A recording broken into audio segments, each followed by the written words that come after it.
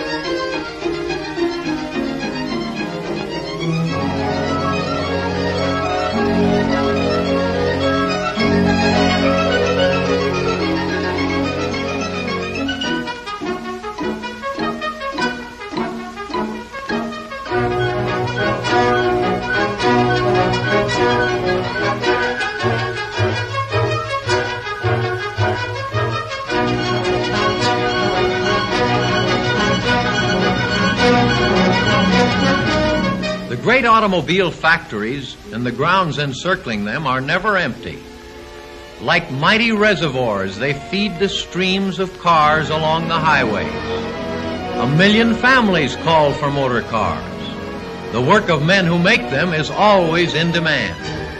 America has a ready purse and gives eager acceptance to what the men of motors have built and built well.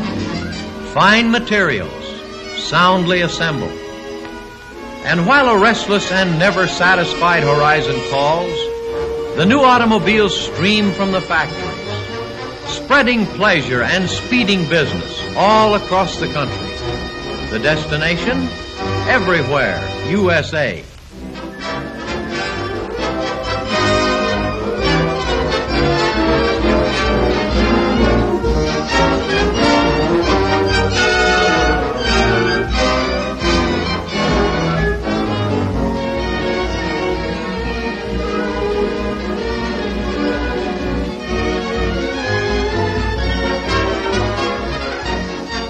And now a stream of paychecks flows to all the men who are building a million cars for the boulevards and highways of America. Tens of thousands of men on one single payroll have money for themselves and for their families to spend. Money to spend for wholesome foods, for good clothes, money for comforts and conveniences. Fresh buying power floods into all the stores of every community. New trade and new commerce have been created by the overflow of purses. And beyond the marketplaces, new wealth flourishes and new prosperity grows.